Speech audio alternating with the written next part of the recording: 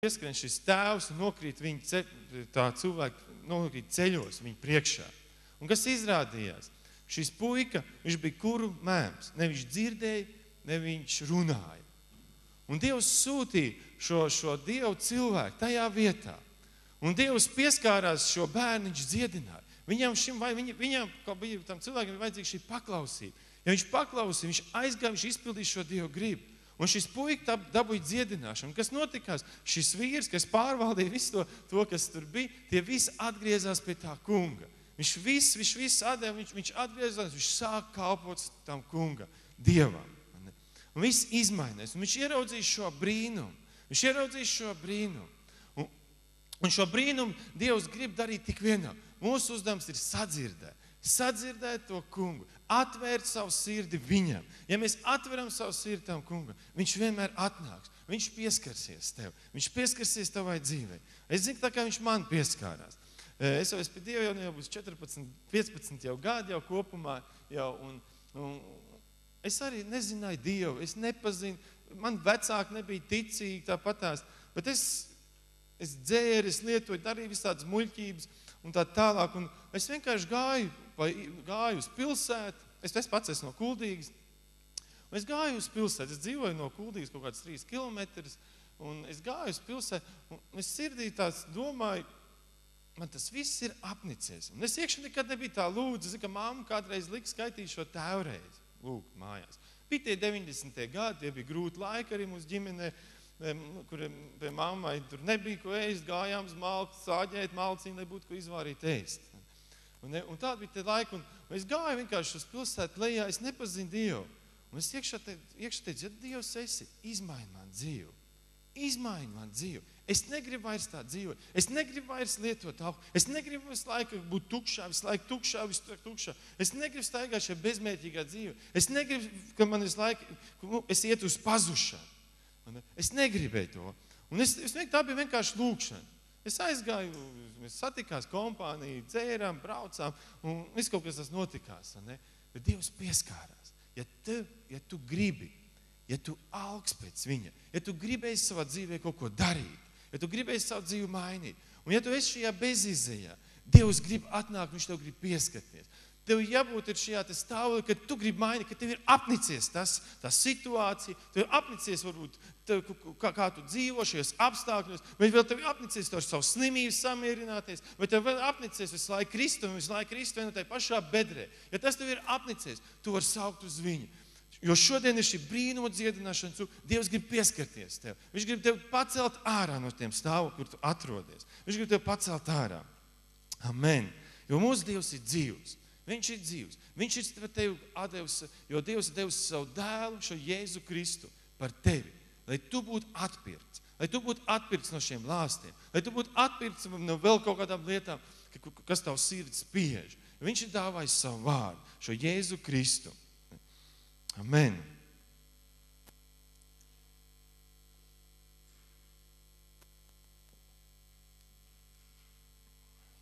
Amen. Slavu Dievam! Viņš ir mūsu Dievs. Un, un es gribu šodien padalīties ar vārdu. Edvards, mēs, vakar, mēs vakar kalpojām arī Kuldīgā. Edvards bija Kuldīgā. Un, un, un, un svētais gars lieto mūs dažādos veidos. To, ko es runāju Kuldīgā vakar, es nezinu, es to es varu pateikt jums šodien. Un, svētais gars to vadīja. Un Edvards nolasīja to, to, tās raksturvietas, to, tas, tas, kas ielikās manajā sirdī tajā dienā. Un Dievs pieskārās tādā pārdabiskā veidā. Un es šodien gribu padalīties ar vārdu, ka mums jāsaņem šis stiprs, šis spēks. Jāsaņem spēks vārdā, ne? bet ja tu saņem šo vārdu viņā, ne? Dievs to palīdzēs. Viņš to palīdzēs. Mēs varam atvērt šo, nah, ir tā bībelē vecā derība, Nahums grāmata, otrā nodaļa. un, un, un, un otrā nodaļa no pirmā pāntiņa.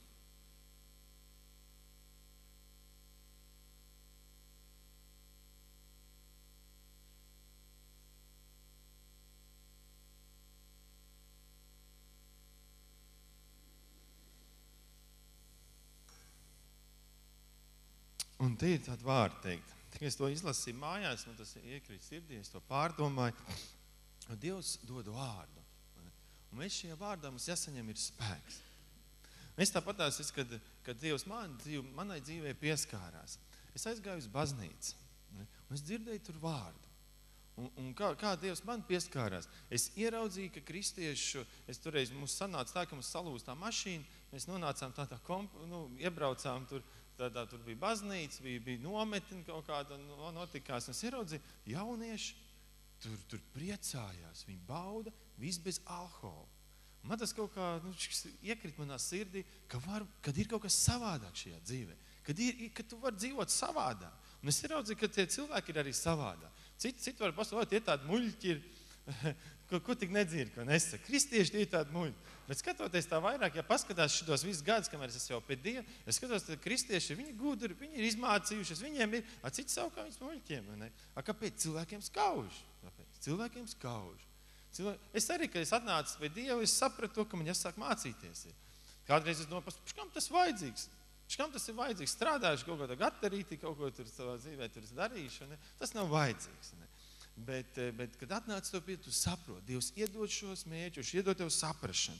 Bet ir šis ienaidnieks, kas grib mūs visu postīt. Tas ir vēlams, ka šajā pasaulē viņš grib ārdīt, viņš grib postīt, viņš grib novest mūsu dzīves, mūsu likteņus šajā sabrukumā. Kad tāpēc ģimenes izšķirās, izjūg, pazūd bērni, vēl nav šī, bet Dievs ir devis savu vārdu. Ne? Un, un otrā nodaļā te ir teikts, redzi, par kalniem kūst prieka vēstneša kājas, kas vēstī mieru.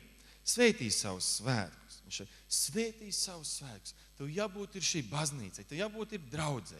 Jo draudz ir tā vieta, kur, kur, kur, kur, kur Kristus pagodinās, kur Dieva slava nonāk kur nonāk tavu dievišķā klātbūtne par tevi, ka, kur tu saņem šo vārdu, kur ir blakām tev ir cilvēki, kas, kas tev uzdrošina kaut ko darīt, kas tev uzdrošina ies, iesaka kaut kādas lietas, kas tev palīdz. Tev jābūt ir draudzē. Un šī draudze veido mēs. Mēs esam šeit draudzes locekļi. Un, draudze, un šeit vēstī, Dievs grib iedot tev sirdī mieru. Viņš grib iedot tev spēku. Viņš grib iedot tev, lai tavs slāva izlīst. Ne? Viņa slāva izlīst tavā dzīvē. Un viņš saka, Vēstīšamies, svētīs savus svētkus, saka Jūda, un pildi savus solījumus ar no brīvprātīgiem ziedojumiem. Jo nekrietnais vairs nestaigās caur taviem novadiem, viņš ir pavisam iznīcināts. Un kas ir šis ne, nekrietnais? Man tas lika aizdomāties šie vārdi. Ir kaut kas šis nekrietnais, tas ir vēlns, kas staigā caur šiem, ja tu pat ir teikts, ne, jo, ja mēs skatāmies, Bībeli sen sarakstīt, jā, ne? un te ir teikts, kas staigā pa šiem novadiem. Un kas ir šie novadi? Jā, tās ir pilsētas. Ne? Tās ir pilsētas. Tās ir pilsētas, kur, kurā katrs mēs dzīvojam. Tas ir šīs pilsētas. Un šis nekrietnais vēlns, ka Bībelē teiks, ka, ka viņš staigā apkārt kā rūkdams, kā lauva. Un viņš grib izpostīt cilvēku dzīves. Ģimenes grib izrādīt. Kāpēc tur, tur, tur, tur nodzerās, ir narkotikas, tāpat tās, kur cilvēki izšķirās, viss tas, jo vēlams grib izpostīt viņu dzīvi. Lai viņiem pazūst šī bauda, lai viņi, lai viņi nebūtu šī mīlestība, lai pazūst viss, kas teikt, ko Dievs ir iedevis. Jo Dievs ir devis šo mīlestību lai mēs mīlētu viens otru, lai bērni būtu izaugt mums, kas, kas slavē to kungu, ka viņi godina to Dievu, mūs, mūs dzīvo Dievu. Un tad viņš saka, kas nekrietnieks staigā caur taviem novadiem. Viņš ir pasam, pavisam iznīcināts. Viņš ir, viņš ir iznīcināts, bet viņš staigā.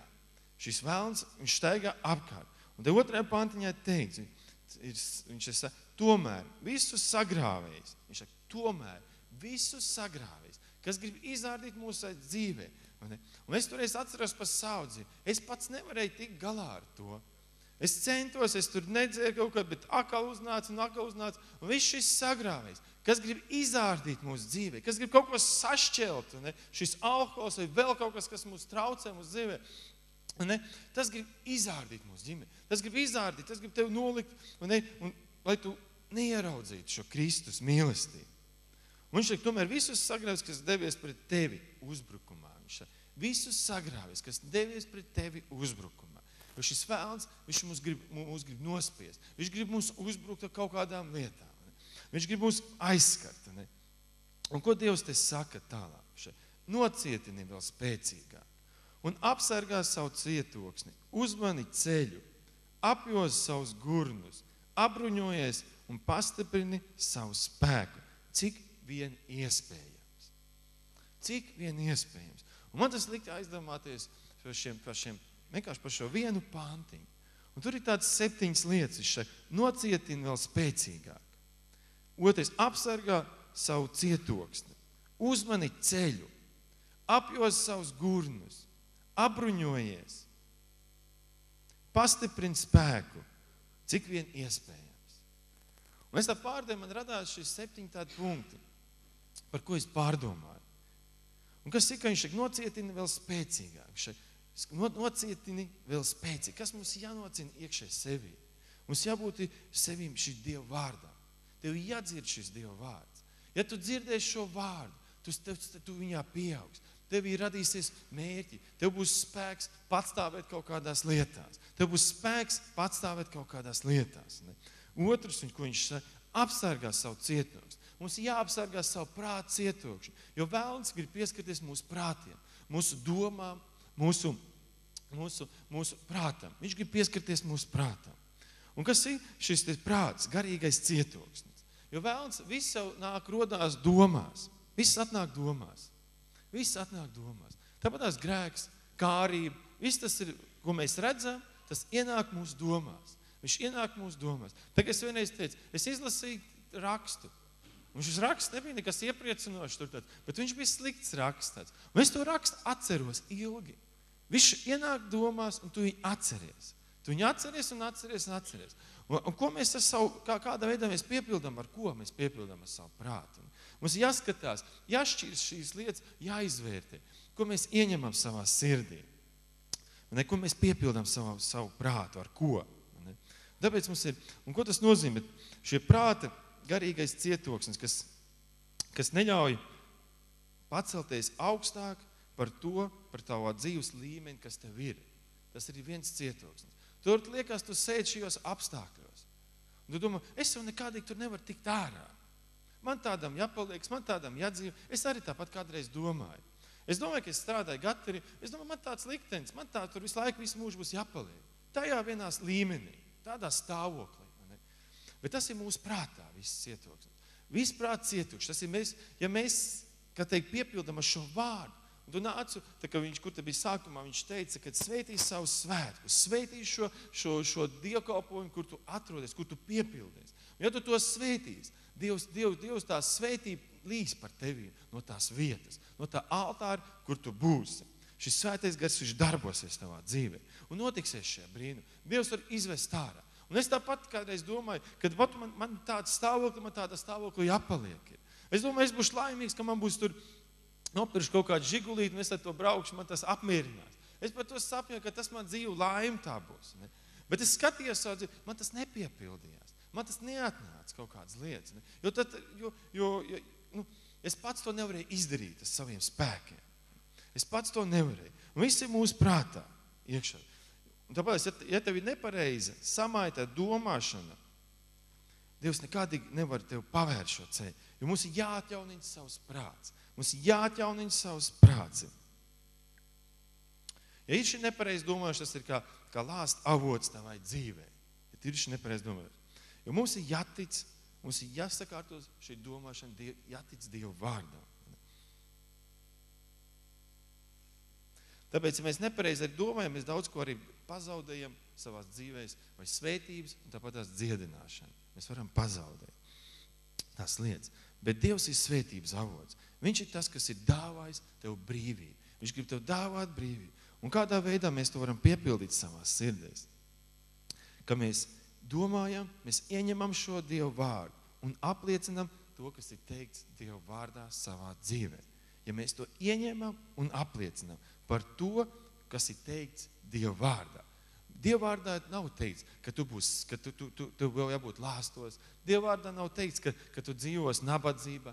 Dievs, Dieva vārdā ir teikts apsolījumi. Un šie apsolījumi pienāk ikvienam ticīgam, ticīgajam, kas tic Dieva vārdam. Un tu šos apsolījumus var savā dzīvē liecināt un apliecināt. Tev jāapliecina. Ja, un, un šie, šie, šo, kā, kā šo vārdu mēs varam apliecināt? Tā kā mēs lasām šo bībeli tu, tu lasi šo Bībeli, tev iekrīt šis vārds, jo Dieva vārdā ir daudz apsoli. Viņš ir teicis savu vārdu, ka tu esi svētīts. Viss, vien, ko tu darīsi, tu būsi svētīts. Viss, kur tu vien pieskarsies, Dievs tev dos izdošanos, jo tie ir Dieva apsolījumi. Un es, kad atnācu pie Dieva, es, es kad es sāku viņu lasīt šo bībeli, man šie apsolījumi sāk rasties. Es strādāju vēl šajā gatarī, un es teicu Dievam, es laiku lūdzu Tevs, visu, ko es darīšu, es gribu, lai Tu man sveitī un izdodas. Un lai Tu man dod gudrību. Jo Bībelē teikts arī, ja tev nav gudrības, lūdz pēc tās. Lūdz pēc tās. Un es arī lūdzu Dievam pēc tās gudrības. Man bija astoņu klašu izglītība, es gāju, sāku mācīties, es sāku kaut ko darīt, es sāku, kā teikt, meklēt šo Dievu tuvu. Un es redzēju, ka Dievs deva gudrību. Viņš ved ārā no gata, viņš ved ārā tālāk, vēl no kaut kā. Kad es Dievs ieved iekšā kaut kādā savā personīgā nišā, kur tu vari darboties. Jo Dievs, viņš ir, viņš ir dzīvs. Viņš var arī tavā dzīvē, jo tev pacelt ārā. Un tev tikai jāsakārto šī domāšana. Viss, ko vēlams saka mūsu sirdīm un čuks, viņš saka, oi, tu nekas neesi, tu neko nevari, tu esi tāds un šitāds, jo viņš laiku mūs noliek. Viņš laiku mūs noliek. Bet mums ir jāatjauninās šie Dieva vārdi. Mums jās, jābūt šajā viņa spēkā. Un ja tu atjaunosies viņā, Dievs, Dievs tev vedīs, Viņš tev palīdzēs pacelties ārā no tiem stāvokļiem, kur tu esi. Un ko viņš saka tālāk? Ne? Viņš apsargā savu cietoksni. Mums jāapsargā šis prāta cietoksnis. Mēs nevaram savā prātā ielaist visas lietas iekšā, kas pagandās. Mums ir jālūdz, lai, lai svētais gars mums palīdz ielaist tās lietas pareizās lietas. Un viņš tālāk viņš saka, ne, uzmani šo ceļu, uzmani šo ceļu, skaties šo ceļu, ko tu, kas tev nāk pretī, ko tu ieņemsi tajā laikā. Jo Dievs saka, viņš, viņš ir Dievs, Dievs, Dievs, Dievs to brīvu izvēli. Viņš, viņš mums ikvienam ir devis šo brīvo izvēli. Mēs nevienam ar vārdu neko nevaram uzspiest. Mēs nevienam vārdu nevaram pateikt, tu jānāk uz baznīcu. Ja tu gribēsi, tu nāks. Ja tu negribēsi, tu nenāks. Ja tu sagribēsi dzīvē kaut ko, tas tev atnāks. Ja tu negribēsi, nekas tavā dzīvē arī nebūs. Mums ir jāsagrib. Ja tu sagribēsi savā dzīvē kaut ko, man patīk, ka es lasu šo ģimā Kārinko grāmatu, arī viņš tur arī raksto, viņš saka, ja tu dzīvē kaut ko sagribēsi, ja tikai tu kaut ko sagribēsi savā dzīvē, nevis to ļauno atkal, to slikto? Es, es gribu, lai man tur būtu miljons konta, tad es tur varēšu atpūsties, varēšu dzīvot, kā es gribēšu. Es, nu, tas arī tev neglābs, tas miljons. Tas neglābs tavu dvēseli. Tas neglābs tavu dvēseli. Bet svarīgākais, ja tu saprati, ka Kristus mīlestība ir tā, kas tev glābi. Jo Kristus mīlestība ir tā, kas tev atjaunina. Jo viņš, Dievs ir devis savu dēlu, lai caur šo dēlu tu staigātu šajā priekā. Un tad, un tad, kad tu staigās, un tev būs šie līdzekļi, Tu varēsi darīt šīs lietas priekš Dieva valstības. Priekš Dieva valstības. Priekš Dieva valstības. Un, un mūsu Dievs, viņš ir dzīvs. Viņš, viņš arī saka to, ja tu kaut ko dzīvē sagribēsi tikai. Tas ir tāds, ja tu sagribēsi kalpot viņam, un tu sagribēsi nest evaņģēlī pa visu pasauli, viņš saka, tas notiksies tavā dzīvē. Ja tu tikai sagribēsi. Ja tu negribēsi savā dzīvē celties ārā no šīs bedres, tu nekad neizcelsies ārā. Ja tu negribēsi savā dzīvē izmainīt šos apstākļus, nekas nemainīsies šajā tavā dzīvē. Bet mums ir jāsagrib. Ir jāsagrib mainīt šie apstākļi kaut kā, kādi, kuros tu esi. Ja tu negribēsi, Dievs nenāks ar vāru, viņš nebakstīs ap laiku pirks. Nu, klausies, nu, kāpēc tu celies augšā? Viņš nebakstīs. Tev pašam ir jāsagrib. Tev jāsagrib ir. Un, un ja tu sagribēsi, tad Dievs tev nāk palīgā. Viņš skatās, viņš redz, ka tev vairs tu, tu pats nevari. Viņ, un, un tad Dievs nonāk to. Viņš nāk tev palīgā pacelties ārā. Viņš nāk palīdz. Palīgā. Ja tu sagribēsi tikai, un ja tu negribēsi, nekas nemainās. Savā. Nekas ne, un tāpēc Dievs viņš arī saka, uzmani šo ceļu, par kur tu ej.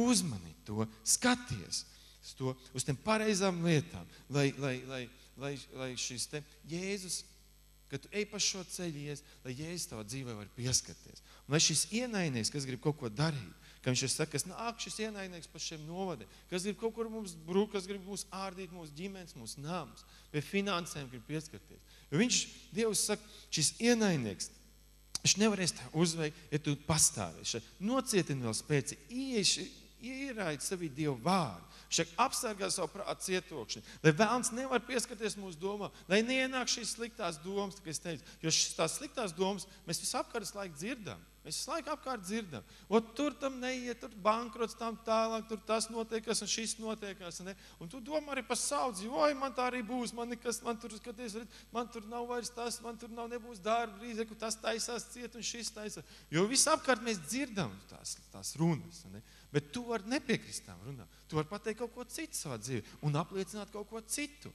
Ne? Un es skatos tagad savā dzīvē, man tāpatās. Kaut es esmu pie Dieva, mēs ticam Dievam, mēs ar ģimeni, mēs lūdzam mājās. Vēlams tāpat tās nāk. Viņš arī čuks to prāt. Redz, ka tev tur neiet tas biznes, tur redz, ka tur tev švak, tev, tur redz, ka laiks un nekas nenotiek, nu tā tālāk. Še, varbūt tev jātais ir viss ciet, nu, un, un tā tālāk, tā tālāk. Viņš nāk un čukst. Ne? Un tā kā es to sapratu, es jau ilgu laiku, es laiku apliecinu šo vārdu. Nē, tu Dievs esi man devis, devis gudrību. Tu Dievs, kad tu saki savu vārdu, tu man, tu man rokas svētīs visu vien, ko esi darījis.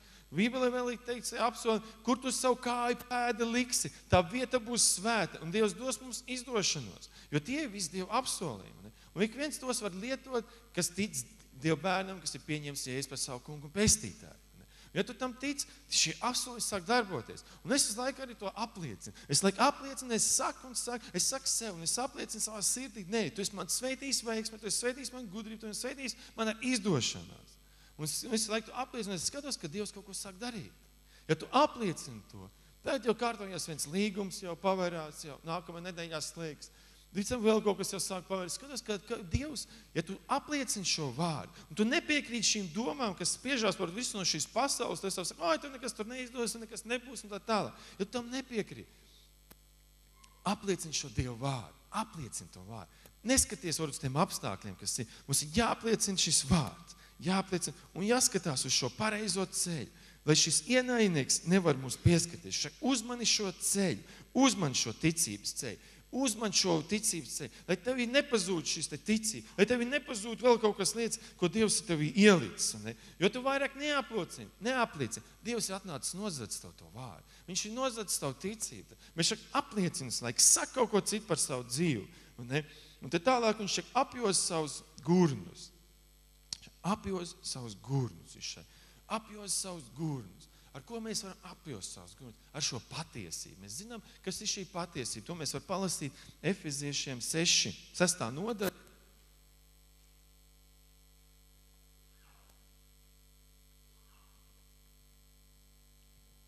Atveram, kam ir Bībelīte, Efeziešiem 6. nodaļa.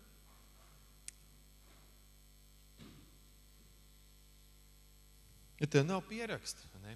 pierakst šis rakstīts un mājās, ka tu aizies, ka tev nāks virsū varbūt kaut kāds spiediens, ka tev atkal būs kaut kāda kārdinājuma. Las šo vārdu, citē šo vārdu. Mums jābūt pilnam ar šo vārdu. Mums bija tāds kurzems lūkšanas šo piekdienu, bija kurzems lūkšanas talsos.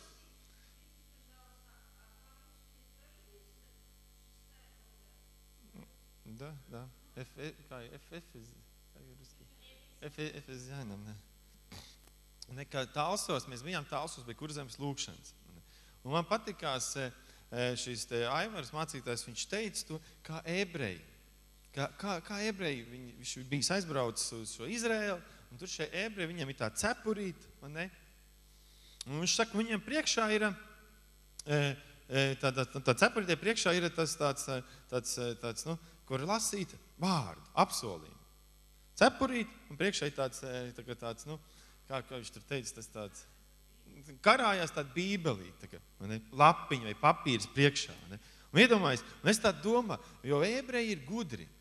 Viņiem ir, viņi ir svētīta tauta. Ne? Un kāpēc? Es tā domāju, es pārdomāju šo vārdu, es sadzirdēju savā sirdī, domāju, kā, kāpēc viņi ir gudri, kāpēc viņi ir veiksmīgi.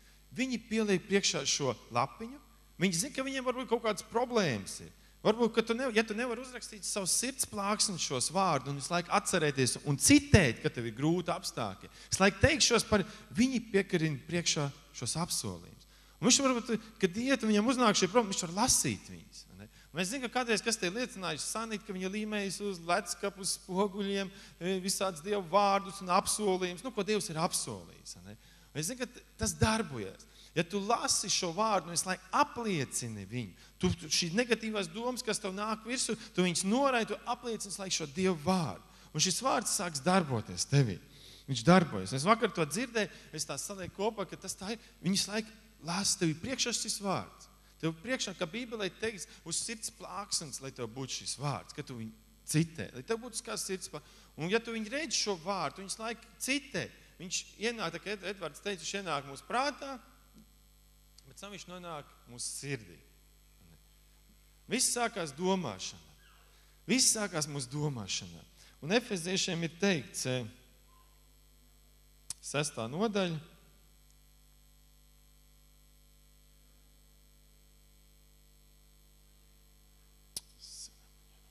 Efeziešiem sestā nodaļa, un, un, un, un.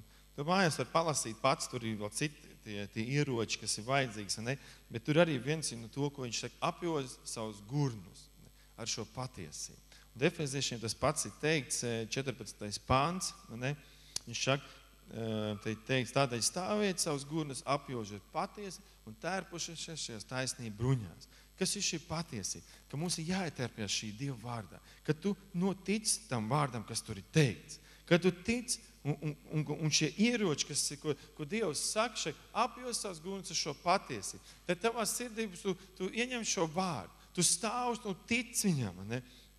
Tu, tu, tu kādā veidā tu šos, šīs prāta domas, tu viņus attus, lai citē šo vārdu, ne? tu runā viņu. Ne? Un tu arī rīkojies, un tu tam tici. Tu tici tam rakstītajam. Ja tu viņam netici, tad viņš arī tavā dzīvē nedarbosies. Ne? Bet ja tu tam tici, kā tur ir teikts, ka viņš tev svētīs, ka viņš tev palīdzēs visās lietās, ka viņš tev būs ar tevi kopā, ne? tur ir tie Dieva apsolījumi.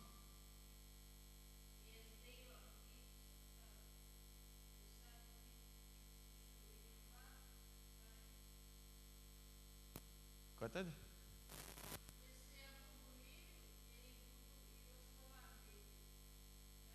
Nu, ja tu ticies Jēzum Kristum, arī jā, nu, Dievam vien nē, ne, ir vajadzīgs Jēzus, Dievs, Dievs savu dēlu, jo tic Jēzus Kristam, jo svētais gars ir mūsos. Tad Dieva spēks šis darbs, ja tu esi pieņēmusi Jēzus par savu kungu pestītāju, tikai tad. Ja mēs pieņemam šo Jēzus par savu kungu pestītāju. Ne? Amen. Un tad viņš saka, apjos savus gurnus ar šo patiesību. Šī patiesība, ja tu ieņem šo patieso vārdu sevī, ja tu viņam tici, ne, kas ir teikts vārdam, tas ir tad, kad tu ieņem šo patiesības vārdu. Tu ieņem un tu arī savā dzīvē pēc tā rīkojies. Ne? Pēc tā arī rīkojies. Pēc tā vārda, kas ir teikts. Ne? Un tas ir labākais veids, kā izcīnīt tās kaujas, ar ko mēs sastopamies savā prātā. Savā prātā, savā domās, savā neticībā. Ja tu apliecini šo vārdu ticībā, un tu tici tam, kas ir teikts rakstītajā, tu uzvarēsi un tu patstāvēsi. Un Dievs tev izvedīs pacels ārā no tiem stāvokļiem, kurā tu atrodies. Viņš mums paceļ ārā ikvienu. Un tad tālāk viņš saka, apbruņojies. Šeit apbruņojies. Kā mēs varam apbruņot? Man tas skaisties šiem apsolījumiem. Apbruņojies ar šiem apsolījumiem, šo Dievu vārdu, kas ir teikts. Apbruņojies ar šo apsolījumu. Apbruņojies ar, šiem, ar šo vārdu, kas ir. Ne? Un,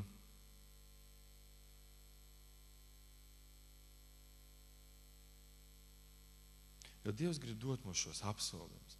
Un Dievs grib mūs izvest ārā e, no tās, no tās e, vietas, kas mums ir. Viņš grib mums, Bībelē teikt, ka viņš mūs grib ievest apsolītajā zemē. Tā kā e, Mūzes laikā, ka Mūzes, viņš veid savu Izraēlu tautu ārā. Viņš veid Izraēlu tautu ārā no šīs verdzības. Un tāpat tās Dievs arī mūs var izvest ārā no tās verdzības. Viņš grib izvest ārā un ievest mūs šajā apsolītajā zemē. Viņš grib mūs izvest ārā un ievest šajā apsolītajā zemē.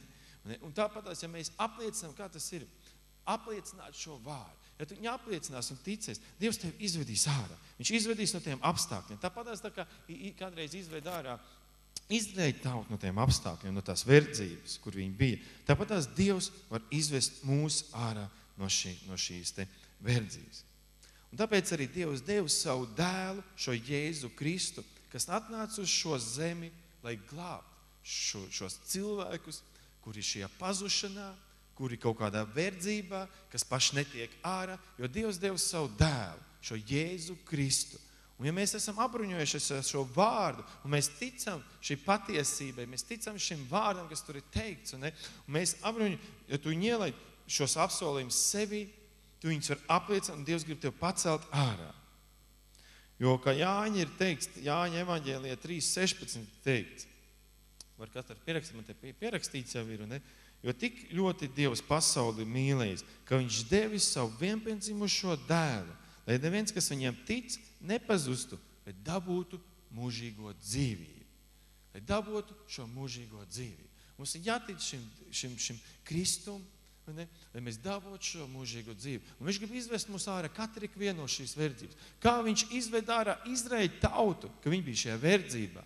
Dievs izveda šo Izraēļu tautu ārā no šīs verdzības. Un tāpēc Dievs mūs grib ikvienu izvest ārā no, no tām verdzībām, kur mēs atrodamies, kur mēs sēžam. Viņš grib mūs tur izvest ārā. Viņš grib mūsu prāta domām nepareizam izvest ārā, lai mēs ticētu šim Kristum, lai mēs ticētu Kristum lai mēs Kristu ticētu šim evaņģēlijam. Jo Viņš ir tas, kas Dievs ir devis savu dēlu šajā Kristus, caur kuru ir ikvienam šī glābšana, caur kuru ikvienam ir šī pestīšana. Viņš ir tāpēc apbruņojies ar šiem apsolījumiem un tic tiem apsolījumiem. No Dievs apsolījums viņš mums ir devis ikvienam, lai ik viens caur šiem vārdu glābtu savus, savus dvēseles, savus sirdis. Lai viņi, lai viņi, lai viņi atnāk pie Dieva mājās.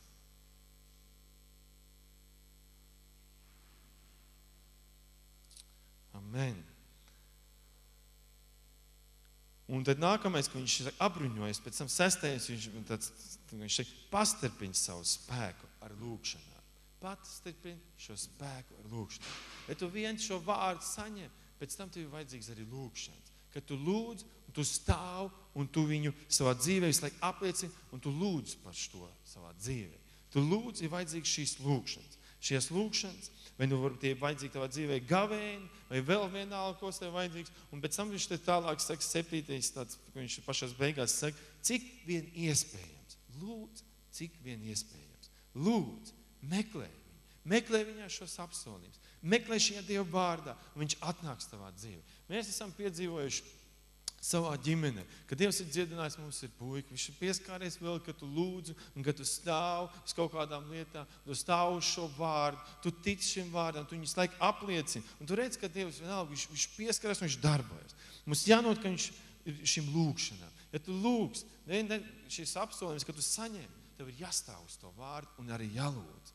Jālūdz, jālūdz par to lietu, kas tev varbūt, tu, nu, nu, kā tu netiec, kas tev tur kaut kādā verdzībā, tev vajadzīgs pacelties ārā no kaut kādiem apstākļiem. Lūdz par to. Tu gribi redzēt, varbūt, kā tev mamma vai radinieki glābjās. Lūdz par to. Es pieņemu par savu mammu, mēs lūdzām jau, jau kaut kāds desmit gadus. Mēs lūdzām. Tagad tikai viņi sāk nākt uz dievkalpojumiem, sāk nākt uz dievkalpojumiem. Caur, caur manas mammas, tāpat tās Zigrīda mums kuldīgi atnāca, Dievs paaicināja. Tādā veidā Dievs, bet pagāja desmit gadi, kamēr es lūdzu, kamēr viņi Dievs kaut kādā veidā pieskārās. Dievs pieskarās cilvēkiem. Un, ja caur lūgšanām, tāpēc arī lūdzu par tām lietām. Ja tu gribi redzēt savā dzīvē šo pacelties ārā, ne, šeit, pirmkārt, tev jāatrod šis Kristus. Jāatrod šis Kristus. Kas tev var darīt brīvu? Darīt tev brīvu no kaut kādiem šiem apstākļiem. No kaut kādām izvest tev ārā, paņemt, pacelt tev ārā no šīs verdzības, pacelt ārā no tiem apstākļiem. Ne? Un, un, ja tu ieņem šo vārdu, šeit, tic tam vārdam, runā to ar patiesību, runā, tic, kas tur ir teikts, apliecini visu laiku to vārdu, apliecini savā dzīvē, apliecini viņu ne? un lūdz par to, ne? cik vien ir iespējams. Viņš tur saka, cik vien ir iespējams. Un tad trešajā pātiņā viņš saka, jo tas kungs no jauna stiprinās jēkaba, tā arī Izrēla godība, kā kad laupīti, ka kaut laupīte bija tos izlaupījuši, nopostījuši viņa vīnas dārzus. Bet ko Dievs apsolīja? Pirmajā ir, jo tas kungs no jauna stiprinās, kā jēkab, tā arī izraida godīgi. To, ko tavā dzīvē vēlams ir, tev var nospiest. Var tev, ko, ko tavā dzīvē, tu liekas, tam apstākļiem tu netiec ārā, kas tev ir kaut kur. Ne? Jo Dievs, ko viņš saka, ka viņ, viņš no jauna spēcinās, viņš no jauna stiprinās tevi. Kā jēkabs kā atgriezās, ka viņš, viņš, viņš, viņš nāca atpakaļ uz savā zemē. Viņš domāja, ka viņa brālis, viņš jau domāja to sliktāko, iedomājās. Viņš domā, ka brālis viņu tur no... Viņš, Dievs deva viņam gudrību. Dievs viņam pēc tam runāja. Viņam, viņam tur viņš cīnījās ar Dievu. Viņam bija lūkšanas. Ne? Dievs pieskārās viņam. Ne? Viņš tur, tur lūdz, viņam Dievs tur salauž tā gūžu. Gūžu bija laikam, ja? Gūži klibodams gāja pie savu brāli. Viņš tur sūtīja pretī jau dāvanas kaut kādas. Ne? Bet Dievs pieskārās. Ne? Diev, Dievs sveitīja viņu tajā zemē. Diev, Dievs saka, viņš tev. Viņš tev pacels ārā, ja tu meklēsi to kungu savā dzīvē. Ja tu atradīsi, tu lūgsi viņu, tu atradīsi šo apsolījumu. Dievs viņam arī deva šo apsolījumu. Viņš tur nolika šo akmeni tajā vietā. Viņš nolika to un Dievs viņam iedeva šo apsolu, un viņš ticēja šim vārdam, un viņš izgāja, un viņš redzēja, ka Dievs dara šos brīnumus. Viņš redzēja, ka Dievs runāja. Viņš redzēja, ka Dievs atbildēja uz viņu lūgšanām. Tāpēc Dievs var tavā dzīvē tevi pacelt ārā. Jo šis ienaidnieks, kas staigā apkārt, kas grib mums laupīt, kas grib mums zakt, kas grib mums kaut ko ārdīt, kas grib mūsu dzīvi kaut ko izjaukt, kaut kādas lietas, mūsu ģimenes, mūsu laulības. Tāpēc cik cilvēki nesēž beziziet, cik cilvēki nesēž kaut kādā depresijā, jo Dievs grib ikvienu pacelt ārā. Dievs, un šodien ir šī brīnuma dziedināšanas upe kur Dievs var pieskarties ikvienam. Es nezinu katru stāvokli, bet Dievs zina. Bībelī vēl tāds vārds ir teiks, ka Dievs zina katru matiņu, kas no tavas galvas izskatīs. Dievs zina katru tavu lietu, kas, kas tavā sirdī sāp. Dievs redz. Dievs redz, no kā tu gribi pacelties ārā. Dievs redz, no kā, kā, ar ko tu cīnies, kas ir tev spiež, kas tev, tev notiek. Viņš visu to redz. Dievs saka, raid šīs lūkšanas, ietiepies viņa vārdā, Nostiprini sevi spēcīgi šo Dievu vārdu. Nocietini visu prātu, cietinoši, lai vēlams nevar tāpatās piesaukties un sēt tevi kaut kādu neticību, sēt vēl kaut kādas lietas, vēl tāpatās, bet tu nevari tāpat pastāvēt. To nu, tad piekarini kaut vai, tur, kad es dzirdēju to, to ka tie ebreji, viņi piekarini kaut priekšā šos vārdus, šos apsolījumus. Piekarini kaut vai pie leckapa vai nu pielīmē, kur tu tur sēdi, nu, vienalga toaletē kur tu esi pielīmējis šos apsolījumus un runā šos apsolījumus savā dzīvē. Saka šos apsolījumus. Pasaki, nē, Sātan, es nepiekrītu tiem meliem. Es nepiekrītu vēl kaut kādām lietām savā dzīvē. Es nepiekrītu vēl pēc šī te. Es gribu savā dzīvē dziedināšanu. Es gribu, lai manā ģimenē būtu vesela. Es gribu vēl to un to, lai tas atnāktu. Tev jāapliecina, tev jāsaņem šīs vārds un jāpatstāv šo. Ja tev vajadzīga gudrība, lūdzu Dievu to gudrību. Es tāpat es nemācījos kādreiz. Tā kā es atnācu pie Dieva, Dieva lūdzu gudrību. Es gāju e, 9. klasē, es gāju uz 9. klasē, 20 gadu man bija, sēdēju, mācījos tur. Es neko tur nesapratu jau, es nebiju mācījies jau pirms tam. Bet es lūdzu Dievam, un Dievs man deva gudrību. Un es pabeidzu to, to, gan to vidusskolu, gan tehniku, es pēc tam pabeidzu, un arī augstskolas es pabeidzu. Dievs dod šo gudrību. Ja tu pēc tā tikai lūgs, ja tu viņam kāpos, tu meklēsi viņu savā dzīvē, ja tu viņu meklēsi savā dzīvē. Dievs grib atjaunot. Viņš grib atjaunināt tavu dzīvi. Viņš grib tevi pacelt ārā. Jo viņš Dievu mīlestību, viņš ir devis savu šo Jēzu Kristu, ar kuru mums ikvienam ir šī glābšana.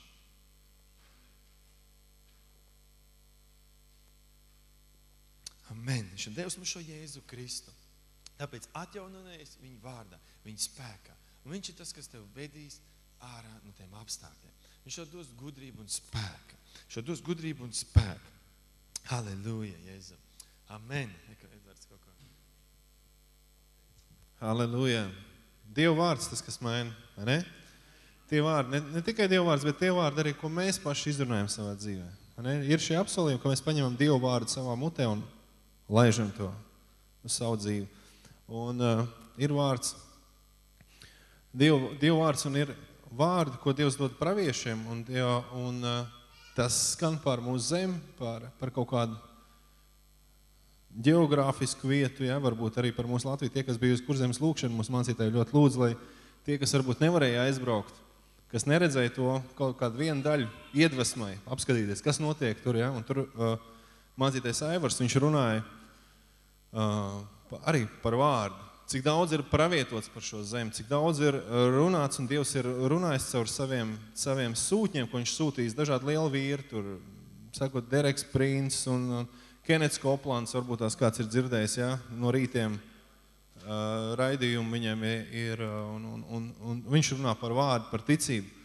Un mēs tagad, nu, vienu īsu brīdi mēs paklausīsimies, tad uh, mācīties Aivars, viņš ļoti tā, man patīk, ka viņš runāja. Mēs varam vēl iedvesmai un, un ticības celšanai paskatīties, pēc tam mēs aizlūksim vēl par vajadzībām un, un pateiksimies, varam pateiksimies Dievam. Būs pilna ekrāna, varēsim redzēt.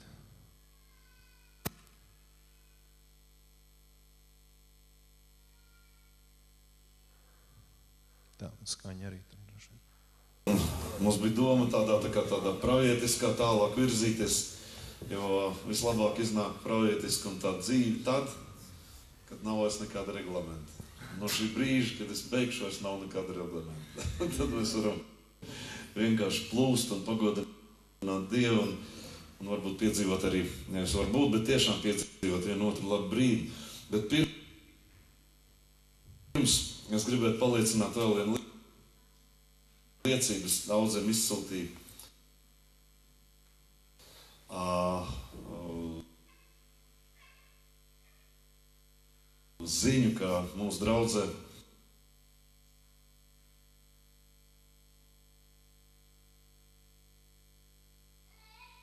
viena meitene bija tromba. Viņai bija. Es gribu pa, nu, pagodināt Dievu šo, ka vienkārši pastāstīt, kā tas viss beidzās. Tikko šīs lūkšanas bija, atsakoties pa aizlied izziņas, un tikko šīs lūkšanas notika, momentāli zibenīgā ātrumā sāk iejaukties ārsti. Un kvalitatīvi iejaukties. Un viņi pēdējā brīdī noķēra trombu, kas bija aizgājis, varēja aiziet plaušam priekšā, un viņai būtu letāls iznākums.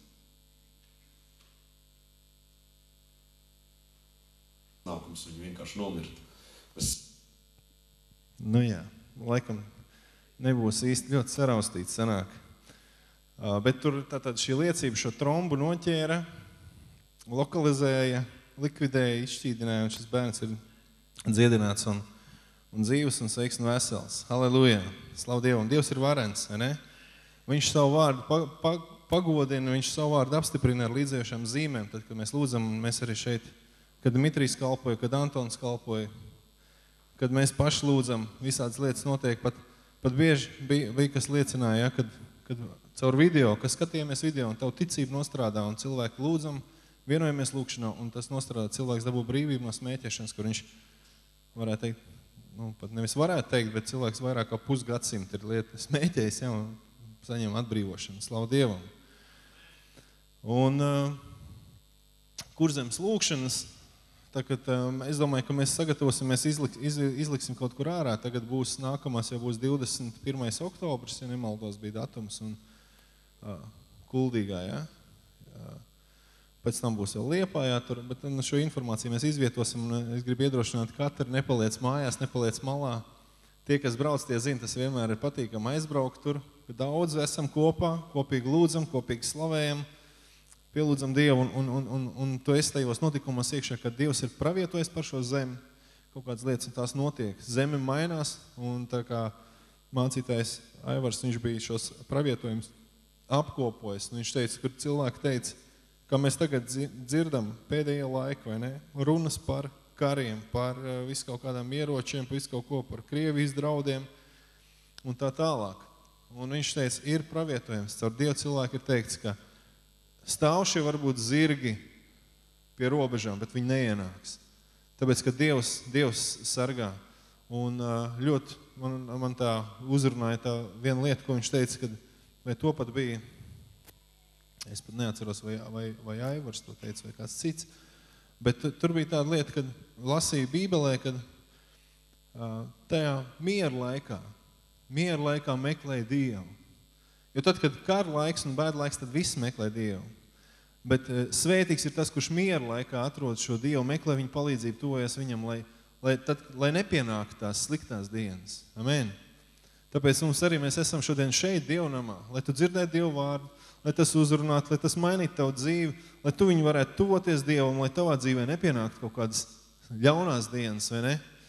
Uh, jo, jo, jo Dievs grib, lai, lai, lai, lai, nu, lai mums nebūtu tādas kaut kādas, lai mums mazāk būtu sliktas lietas. Tu tici tam, ka Dievs ir labs Dievs, un Viņš grib svētīt.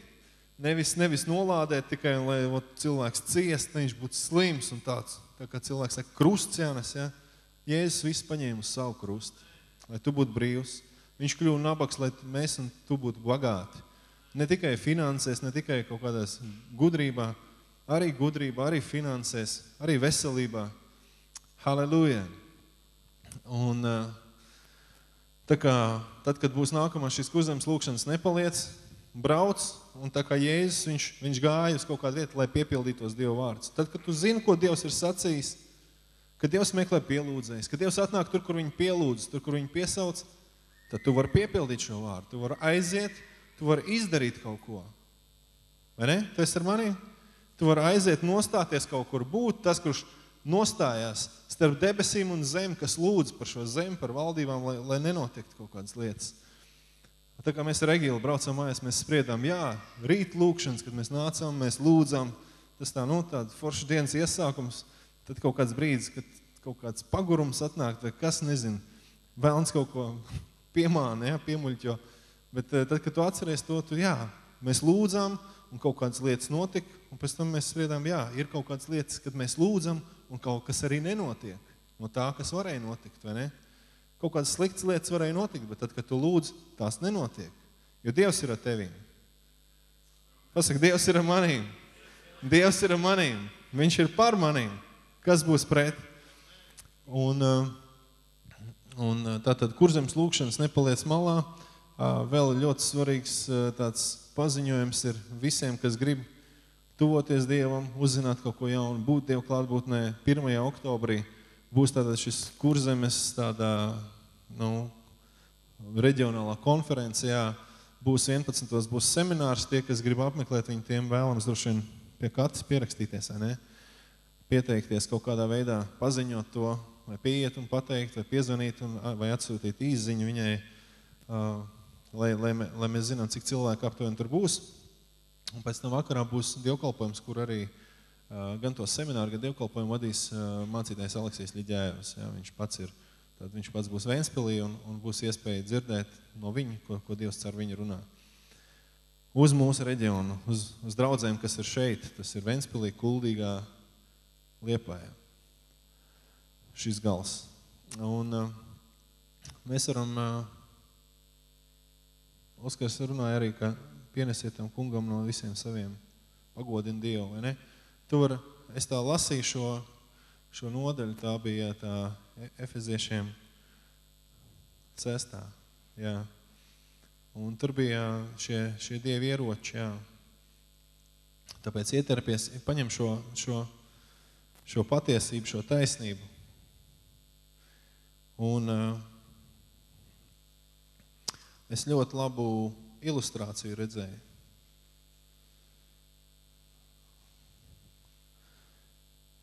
Kas ir? Kad cilvēks strīdās, cilvēks saka parasti, nu, katram jau savu taisnību, vai ne? Un krieviski tas ir, ir vārdi pravda un ir izcina. Nu, taisnība, ja, un patiesība sanāk latviski. Un tagad, nu, es nezinu, vai šeit varēšu parādīt. Tā nevar redzēt. Var man nedaudz var redzēt. Jā, man kaut kā viens kaut kāds gaismas. Jā. Tā kā, ka, kādas formas trauks šis ir? Cilindrs, jā. Tie, kas telpiski domā, tie zina tas cilindrs. Tagad, ja mēs skatāmies, mēs noliekam cilindru šitā te, un mēs skatāmies, ja gaisma spīd no šejienes, mēs redzam, ko mēs uz sienas redzēsim. Mēs redzēsim kvadrātu, vai ne? Tā, nu, šitā te. Tas būs kvadrāts ja mēs redzēsim ēnu tikai. Ja? Un tā, būs, tā būs taisnība, vai ne? Ja tu teiksi, ka es redzu kvadrātu sienas projekciju, tā ir, tā ir taisnība. Kāds cits varbūt skatīsies, viņš redzēs no šī gala. Ko viņš redzēs? Viņš redzēs apli. Tā arī būs taisnība. Bet patiesība ir, ka tas ir cilindrs, vai ne? Tā nav tikai vienā dimensijā. Dievs ir, Dievs ir daudz šķautņains. Un, un Dievvārdā teikts arī, ka eņģeļi iet un viņi, un viņi redz, viņi iet apkārt Dievam, Dievu tronim un saka svēts, svēts, svēts. Un, un, ik, un katru reizi viņi ierauga kaut kādu jaunu šķautni, jaunu šķautni, jaunu šķautni. Un tāpēc tā pilnā patiesība, tā ir tikai Dievam. Mēs varam redzēt kaut kādu ēnu, kaut kādu atblāzumu, vai ne? Tā būs kaut kāda taisnība, ja? bet cilvēki bieži vien cīna, strīdās par to taisnību arī kristieši, ja? Bet uh, Viens varbūt ir redzējis vienu ēnu, otrs ir otru ēnu redzējis, bet vēl viņi nav nonākuši līdz tai patiesībai, ka tas patiesībā ir cilindrs. Tāpēc uh, mēs varam piepildīt šo vārdu, lai, lai šī patiesība, kas ir Dieva vārds, kas dara dzīvu, kas atbrīvo, lai tas var darboties mūsu dzīvē, mēs varam pienest Dievam pateicības upuru, pienest Dievam, mēs slavējam viņu. Varbūt tas cilvēks, kas, kas šeit varbūt pirmo reizi, varbūt liekas, kāpēc draudzē, nu, Nu, tas tā, tāds koncerts, varbūt tās pirms dievkalpojuma. Nu, tā, lai jautrāk būtu, lai nebūtu tikai runāšana, lai būtu kaut kāda mūzika. Bet tas ir, nenovērtē to par zemu. Jo Dievs meklē, Dievam slava tā piepilda visas debesis. Viņam, viņu visu laiku slavē. Un, un tāpēc tajā laikā, kad tu nāks, varbūt nākošais, centies dziedāt līdzi, centies šos vārdus, kas dziesmas, kas mūs apvieno, šie vārdi, šīs lūkšanas. Ja? Šīs dziesmas, ko mēs dziedam Dievnamā, tās vairs nav zūdīšanās par, par trūkumu, par nelaimīgu mīlestību, par, par uh, vēl kaut kādām likstām dzīvē. Ja? Bet uh, tā ir, tie, tie ir tieši šie labie vārdi, kur mēs pravietojam. Mēs teicam, esi tu mans Dievs, esi tu mans kungs, esi tu mans glābējs, esi stiprums mans. Tas ir no psalmiem. Tur Dievs ir Dievs šim brīnišķīgajam brālim Indrišonakam, un mēs varam ar savām lūpām šīs dziesmas vārdus atraisīt uz savu dzīvi. Ja tu vēl nezini Dievu vārdu, varbūt tu neesi viņu tik daudz lasījis, bet tu vari šīs dziesmas dzirdēt un tu vari to atraisīt.